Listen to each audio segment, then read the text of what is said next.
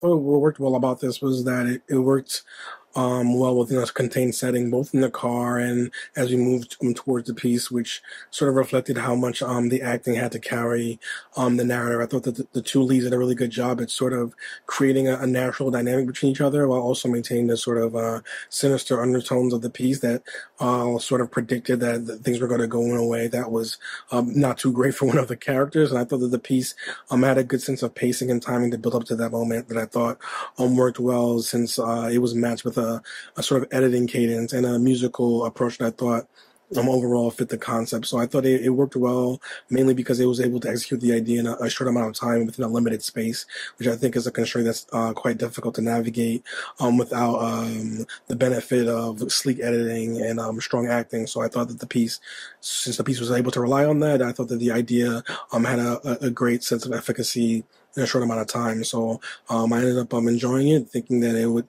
it looked it had a good jo- a good job of moving with lighting in particular and using lighting to affect the mood. So I thought that the piece had a strong aesthetic that helped contribute to um, having the narrative feel like it had um, a good sense of depth, even though the, the plot wasn't um, completely fleshed out. So I thought it was um well done overall. With a name like B roll, you anticipate some um, camera work because it's of the vernacular, but um, this was a really interesting piece. I think you took a lot of different uh, daring shots that were really fun. Um, I think you played with lighting in a really interesting way that added to the story. Um, I definitely think it was a thriller and clearly because it's in this um, film festival, but through through the story and the characters. But it really um, really just the camera work in this was the the icing on the cake. Um, it impacted the pacing and the tone so much um, with a lot of different transitions, and it just made it really really strong. Prime example of be careful what you wish for. Um, it was very impactful, very suspenseful, and I love that whole uh, I like that this is one of the few films where it's like something serious happens and the first reaction is let's call the police because I feel like that's something that doesn't happen a lot in movies.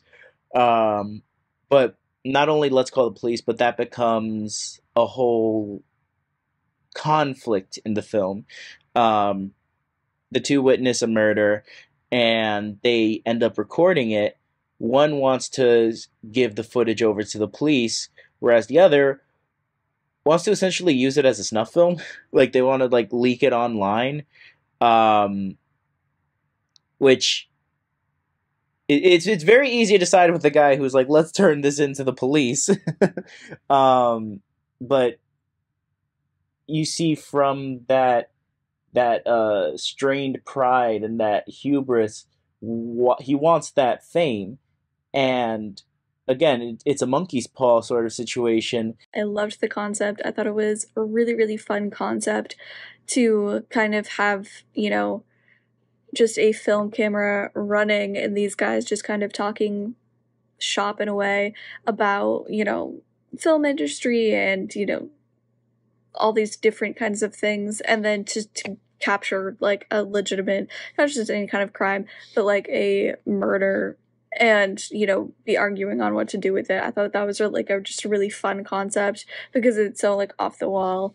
Um and then to kind of at the very end obviously have it being turned around on him where there's you know another camera that's you know filming him. I thought was really great. Um i really really enjoyed it. I thought it was really really fun. I you know really liked the the kind of back and forth and the the argument and the the kind of chemistry between the two. I really enjoyed this one. I thought it was a cool premise, real simple setup, great execution, uh, good performances, strong writing to carry it through. Um, just good practical lighting, good use of uh, the lighting. Um, you know, even just getting out of the car and having the headlights backlight them, you get some nice shots like that um, which helped mix things up because I mean it's really it's it's t- two talking heads you know, sitting in a car that could get stale quickly, but uh, they managed to keep it interesting um, not only through the narrative but yeah through uh, visuals as well. So really just a, a good strong short.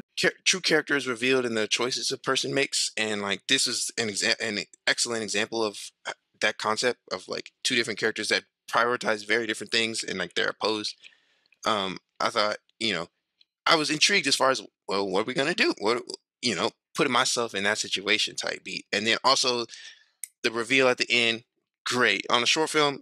Always great to end end on a reveal like that. Um, I thought it was great. Had the perfect amount of escalation in the storyline and the character dialogue and motivation, I think, went hand in hand really well as the story progressed.